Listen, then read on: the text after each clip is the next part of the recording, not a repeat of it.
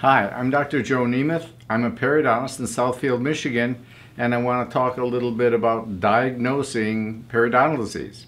When a new patient comes to our office, the first thing we do is we take a slide or a sample from under their gum to see what's going on as far as infection is concerned.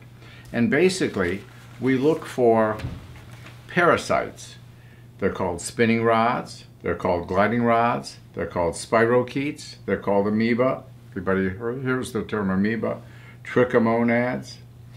Uh, we also will see things like plaque, blood cells, skin cells. Well, these are normal. We see these all the time. We're not concerned about them. They're not an indication of pathology necessarily, and they're not active. They don't move around. Well, if these things are there, they will be moving. These are living creatures that actually will be spinning or wiggling or oozing around. And if we see these, then we know that gum disease is present. Here's an image of a slide. You can see amoeba. Uh, that's that oozing kind of organism. You can see the spirochetes. Uh, you can see gliding and spinning rods. These are the kinds of things that we look for, and there are even some that we don't know the names of. But anything that's moving under its own power is not healthy, should not be there, and we want to make sure that virtually all of those are gone. And here's a slide where we see virtually none of those kinds of things present moving around under their own power. There should be no bleeding, and then it's up to the patient. We'll teach them how to take care of their mouths to prevent reinfection but then the burden is up to the patient to make sure they do what they're supposed to do, and then we like to see them periodically to make sure reinfection isn't occurring. And actually, there are bacteria called Porphyromonas gingivalis and others that we can't see, but when we know the when we see these, we know those are present also.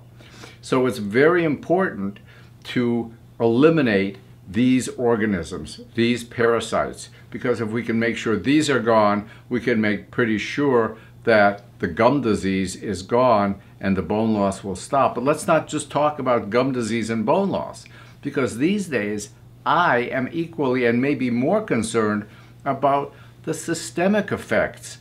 Gum disease is now very, very, very strongly linked to Alzheimer's disease, not just as a link, but in a recent study a couple of months ago, they think it may be a causative factor, an initiating factor. Now, the Alzheimer's disease may take 20 or 30 years to show itself, but it may start with these bacteria, these PG bacteria, that may be an initiating factor.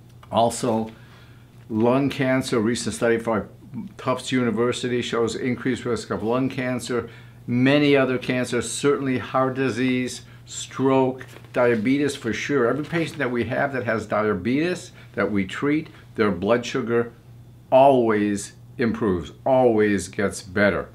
And now also, there's a lot of evidence. There's a very significant increase in the risk of pancreatic cancer, kidney problems. You name the systemic disease, and almost all of them you're at increased risk for if you have gum disease and these parasites. So this is my life goal, to eliminate gum disease in every human being in the world, basically.